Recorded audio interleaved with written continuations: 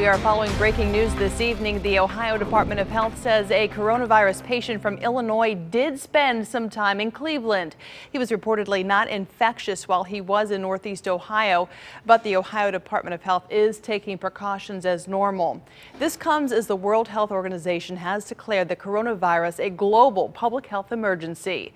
The case stems from a 60-year-old Chicago woman with the coronavirus passing the illness to her husband. The CDC says the woman recently traveled to Wuhan, China to take care of her sick father. This is the first person-to-person spread of the coronavirus in the United States.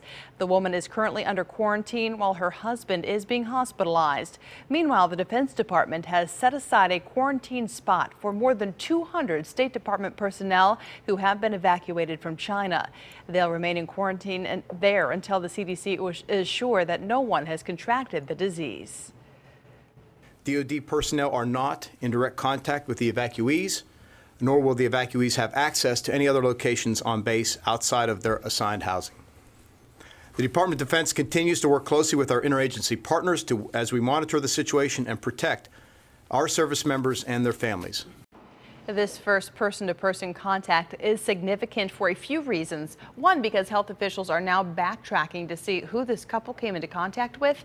Also, the husband didn't develop the illness right away, so there is the possibility that he came into contact with others.